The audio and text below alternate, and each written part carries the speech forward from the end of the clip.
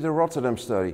Uh, it, it is a study I, I, I know best because I, I was involved in, in, in setting it up in the end of the 80s of the last century. It has been going on now for about 30 years. It is a population-based uh, cohort study uh, in people aged 45 or over in one district in the town of Rotterdam in, in, in the Netherlands. It includes about 20,000 people by now and they are followed. Some of them have been followed for, for, as I said, for 25 uh, or, or 30 years.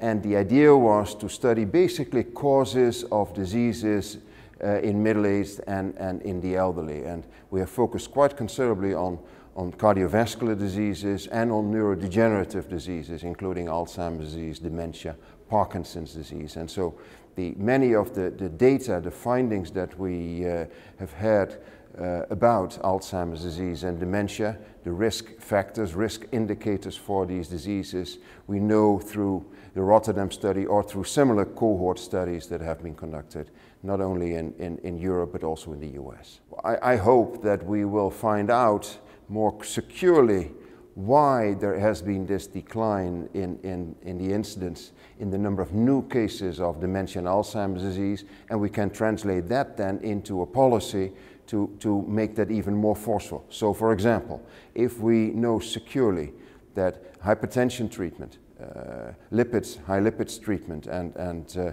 perhaps also better treatment of diabetes and fighting obesity has a positive effect on uh, on the incidence, namely a declining effect on the incidence of dementia and Alzheimer's disease, we can even more forcefully suggest uh, uh, those measures.